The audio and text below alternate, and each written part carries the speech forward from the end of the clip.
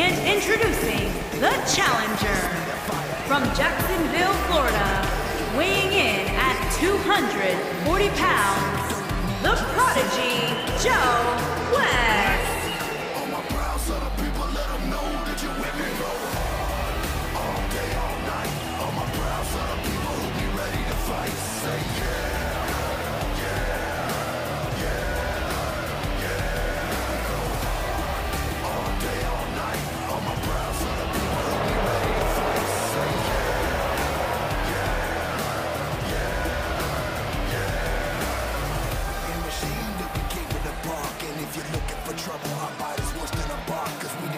of the